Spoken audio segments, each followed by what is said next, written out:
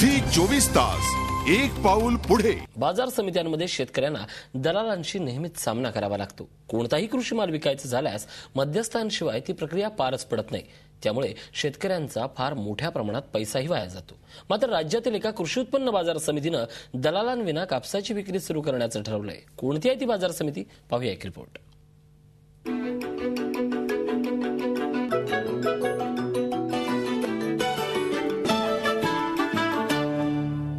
वर्धा जिल्ह्यातील ही आहे हिंगणघाट कृषी उत्पन्न बाजार समिती. या कृषी उत्पन्न बाजार समितीनं दलालाविना कापूस विक्रीचा एक अभिनव प्रयोग सुरू केलाय. बाजार समित्यांमध्ये आतापर्यंत शेतकऱ्यांचा अनुभव फारसा काही वेगळा नव्हता. त्यांना कापूस विक्रीसाठी क्विंटल मागं साठ ते सत्तर रुपये दलाली द्यावी लागायची. एका गाडीत दहा क्विंटल कापूस असल्यास साधारणतः सातशे रुपये त्यांना दलाली द्यावी लागायची. मात्र या कृषी उत्पन्न बाजार समितीनं घेतलेल्या निर्णयाचं शेतकऱ्यांनी स्वागत केलंय. चांगली गोष्ट आहे. खूप- आपण स्वतः माल आपापल्या याच्यानं विकू शकतो. पैशाने चांगल्या पद्धतीने. दलालीचे पैसे वाचते आमचे. बाकी का माल चांगल्या भावात खपते. एपीएमसी पैसे बरोबर टायमाला भेटते. ही जी जी योजना आहे एपीएमसीने राबवली आहे ते शेताच्या हितासाठी शेतकरी. हिंगणघाट कृषी उत्पन्न बाजार समितीमध्ये स्वतः कापूस विक्रीसाठी करणाऱ्या शेतकऱ्यांसाठी वेगळी जागा आरक्षित ठेवण्यात आली आहे. या आरक्षित जागेत शेतकरी गाडी लावून कापूस विक्री करतात.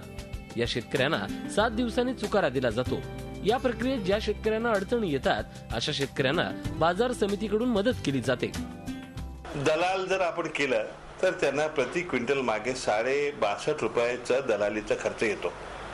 म्हणून आता आम्ही आमच्या संचालक मंडळीने असा निर्णय घेतला की कुठेतरी आपण बाजार समिती दलाल मुक्त केली पाहिजे. म्हणजे जो मिडलमन आहे मध्यस्थ आहे तो कमीत कमी राहायला पाहिजे. ज्याच्यामुळे शेतकऱ्याला त्या सगळ्या गोष्टीचा त्याच्या शेतमालाचा जास्तीत जास्त चांगला भाव मिळू शकेल आणि त्याला दलालीचा खर्च सुद्धा कमी होईल. बाजार समित्यांमध्ये मध्यस्थांविना मालाची खरेदी विक्री न केल्यास शेतकऱ्यांची अडवणूक होण्याची शक्यता असते. हिंगणघाट बाजार समितीनं शेतकऱ्यांसाठी दोन्ही पर्याय खुले ठेवलेत.